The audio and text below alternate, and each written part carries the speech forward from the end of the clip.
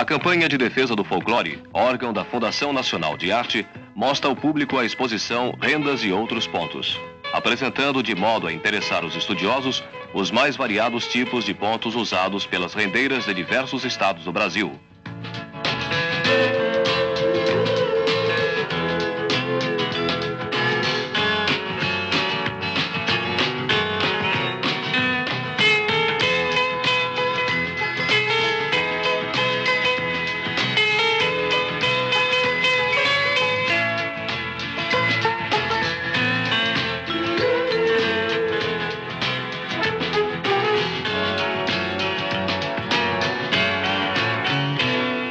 Os trabalhos exibidos na Galeria da Funarte, Rio, são originários do Ceará, Paraíba, Alagoas, Rio Grande do Norte, Minas Gerais, Estado do Rio e Santa Catarina.